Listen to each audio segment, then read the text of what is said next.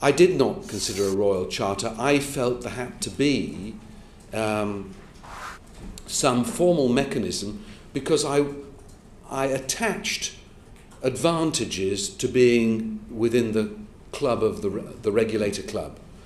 And those advantages were going to require statutory and procedural change. And it struck me that it was important, which is why I recommended it, that Parliament endorsed the carrots of advantage if you joined the club. That was the idea behind it. And that was the reason why there had to be uh, a recognizer saying yes, independent, yes, e- efficient. Uh, I did discuss different ideas um, for the recognizer.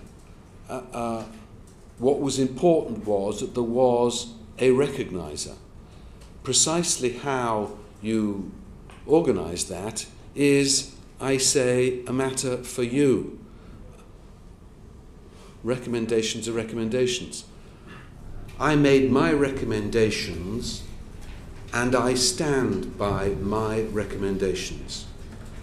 If those recommendations are implemented through a royal through the bent, through the mechanism of a royal charter, then so be it. Uh, uh,